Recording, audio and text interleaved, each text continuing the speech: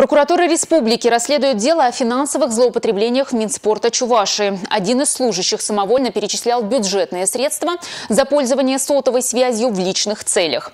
Также выявлены факты перечисления денежных средств лицу, не являющемуся сотрудником министерства. После возбуждения уголовного дела подразделение Минспорта Чувашии по профилактике коррупционных правонарушений предотвратило попытку уничтожения бухгалтерских документов. По этому факту Минспорта Чувашии обратилась в правоохранительные органы с соответствующим заявлением. Выдворить нельзя оставить. С начала этого года чебоксарские приставы отправили домой пять иностранцев. Сегодня на родину отправились еще два человека. Не по собственному желанию, а принудительно. Все они жители Узбекистана. Отъезда на родину нелегальные мигранты ожидают в Центре временного содержания МВД. Здесь находятся те, кто не первый раз нарушает миграционное законодательство или скрывается от органов. Пять человек выдворено в этом году выдворяли Украину и Узбекистан. Четыре человека приобрели билет за свой счет.